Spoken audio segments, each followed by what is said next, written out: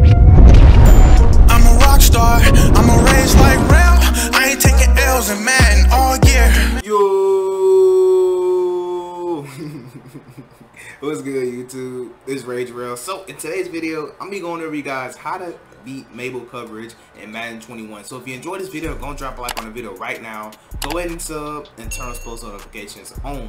So, first and foremost, like I said on pretty much every one of our videos now, thank you guys so much for tuning in because, like I said, I know it's late in the uh, Madden season, and some of you guys, you don't have to tune in my videos, and I truly appreciate you. So, in today's video, I'm gonna be showing you guys exactly how I love to attack Mable coverage, and the reason I um, wanted to do this video, I did have a, a subscriber comment ask me to go over it out of tight doubles, so I did want to mention um, tight doubles, but I'm not only going to be in tight doubles, I'm be showing you that you can apply this to literally any formation in the game, so it's not just a particular formation that this setup works in, it works in just basically any uh, formation, and I'll be able to prove that in this video. So, um, again, you can see right here, let's actually go to tight doubles, because I want to start off in tight doubles. Now, uh, I'm actually going to choose to play Z-spot, but like I said, this concept can work with any play in the game. I just already broke down this. Um, uh, that's why I did want to just kind of retouch on it. So let's go to Z-spot. Now, on defense right here, I do want to show you guys first that um, we are in Mable coverage. So I got a 15 and 5, because that's normally what you'll see. Um, or I'll just do 20 and 5. That's that's probably what you'll see too. Uh, you'll see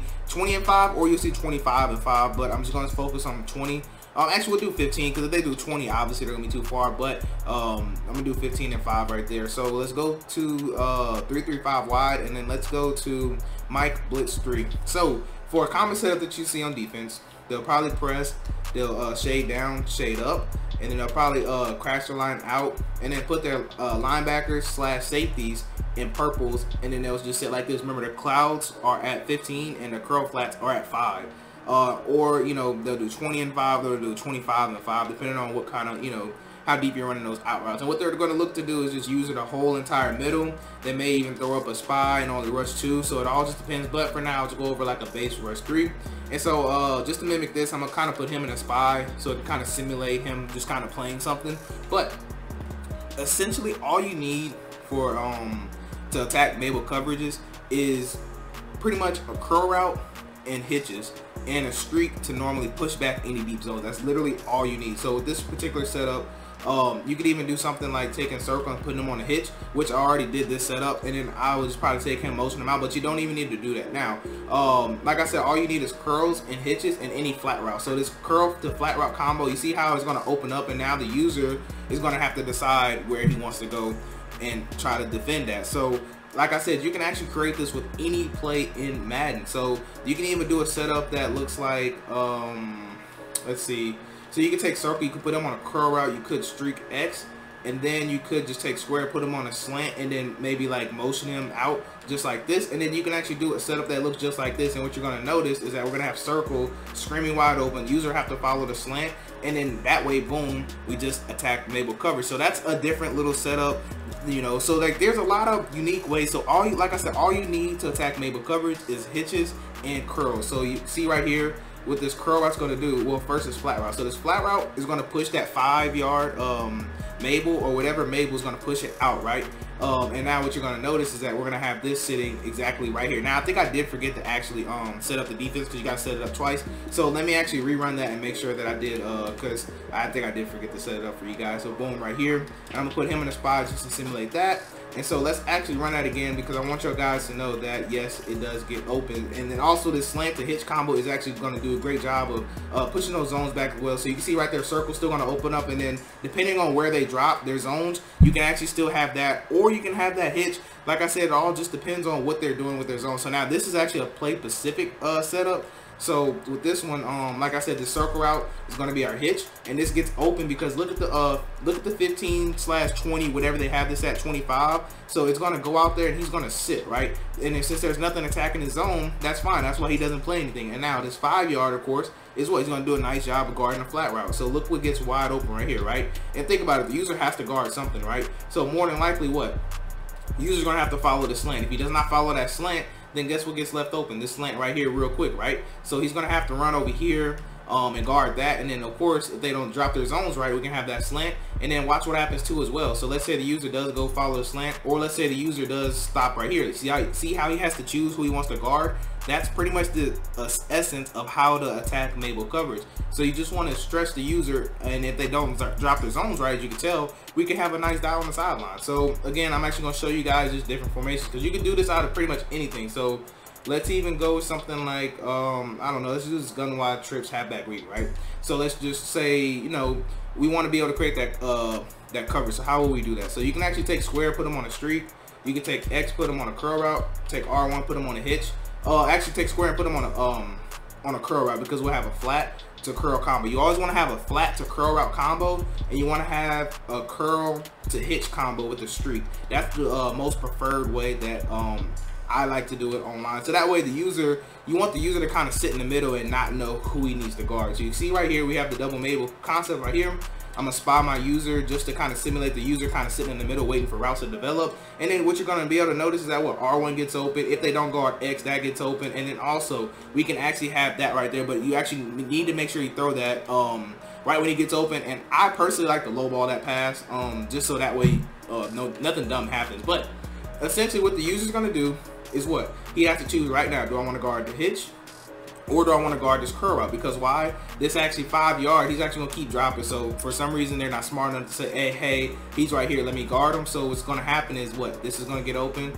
And then since it's 25, 20, 15, whatever he is, he's going to go there. He's going to stop. So he will never play this as well. So what? That's two routes that's going to get open because of double Mable, right? And now let's take a look at this. So if they don't drop this, uh, if they don't drop him in the right zone, of course, then what? He's going to go and cover nothing. That's why I said you can lowball this ball right now. So we have literally one, two, three potential reads we can make, and there's only one user. You see? So you see how we got that three-on-one combo? That's exactly why I said that you can pretty much run this with any concept, any not any concept, but any formation. So let's take a look at another formation here. So let's go with something like um, let's go trips tight end. I mean, it's pretty much the same thing. So just what circle on the we could do circle on the um curl route. We could do triangle on a, on a hitch.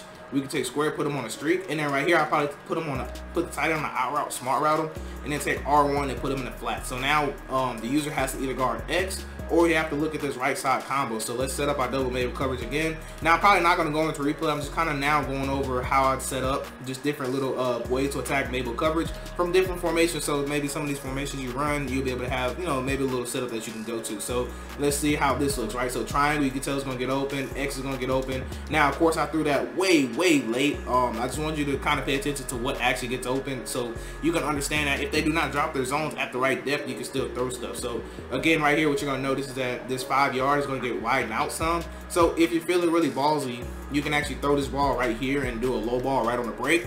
But um, the reason why this is open is because it's 15 yard. Like I said, he's going to go in there and sit. So if you do not throw this ball right here, then, you know, of course, you're probably going to throw a pick because of Madden. And I'll show you guys that real quick also as well. But what you're going to notice on this left side is what? We have a hitch that's open and we have this route right here. So look at the user, right? User right now has to decide there's three people that could potentially get the ball. So that's why I said double Mable coverage will give, you know, it, it's pretty much non-effective against this type of scheme right here. Well, not scheme, but route setup. So I wanted to make sure I did mention that with you guys. So uh, let's actually take a look at trips tight end. I actually do the same setup, and I want to show you that you actually can lowball that uh, pass right there. Remember, just set it up just like this. And then here we go. So like I said, as long as you have a hitch, a curl, and a streak concept, and then something on this right side to where the user can have, well, possibly can have to guard that. So let me set up this real quick for you guys on defense as well. Go and take him and spy him and then now we're set up. Boom. So then let me show you that you actually can lowball that right there. You see how right on the break that's 10 yards because of smart routing 10 yards. You can keep taking that 10 yards every single time if they want to sit back and just play like 15 fives or 20 and 5 so that's just real easy ways that you can counter that. So let's go over one more formation and that'll probably be the video. Uh you know let's do um let's do bunch since that's another popular one. So even with the inside switch play what? We could take circle we could put them on a curl route. I mean, we could put them on a hitch. We could triangle, put them on a curl. We take square, put him on a street. and then look, we can even smart route X to get that little glitchy out route. And then you can just take him and motion him out some.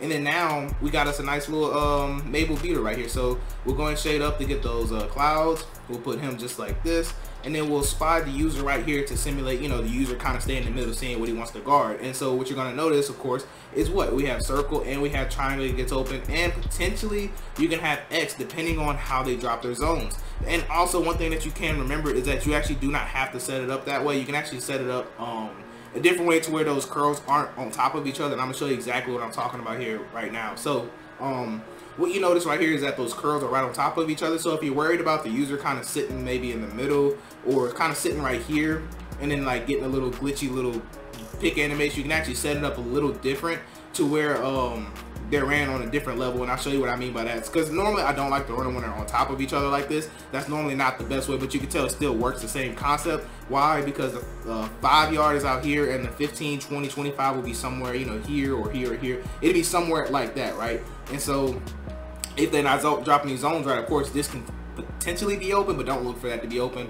Um, you just want to see where the user is going to go if they go to that side. So again, let me actually uh, run that for you one more time. So let's go back to uh, bunch tight end, and then let's actually go to inside switch. So uh, so they don't stack on top of each other. What I recommend you do, you just want to take triangle, you put him on the hitch, you put circle on a curl, and then you're uh, going straight. But I think that's the setup. I might be doing it. Um, we'll see right here. Actually, uh, let's motion them out, and let's set up our defense too again. So uh, here we go right here. Boom, you see we are set up. I think I, I think I set this up right in my head. I gotta think about it for a second. Um, no, well, either way, like it's fine though. But normally you don't want to do that. I think I was supposed to put triangle on the hitch. Yeah, yeah, yeah. Okay, okay. I think I got it, y'all. I think I got. It. I think I was supposed to put triangle on the hitch. So let's try it this way. So let's put triangle on the hitch, curl, streak. Okay, here we go. Here we go. I think this is how I want to set it up. So let's go and set it up for you one more time. And after this, this is in the video though, because I think you guys basically understand that you just need curls, hits, and a street combo, and then you need something on that right side that'll make the user want to go over there and guard that. So uh, again, yep. So that one's a little better, but like I said, the spacing isn't that good on bunch tight end. So there may be a third way that I would probably do this that I want to test out real quick. And then if, if it doesn't if it doesn't work how I want it to, then we'll just go and end the video. But um yeah, let me know if you guys do enjoy these kind of breakdowns. And thank you so much for actually, you know, let me know how you want to see it. So with this type of thing, what I'll probably do is I'll probably take it and run it this way, just like this. So that way we'll have a nice spacing concept just like this. Um, let me make sure, actually, here we go. Go and press, boom, boom, do like this. Now we're set up.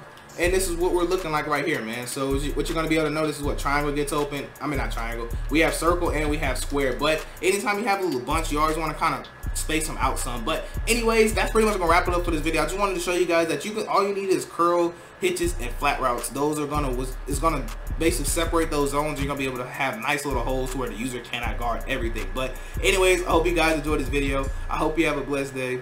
I'm Rage Rell, and I'm out.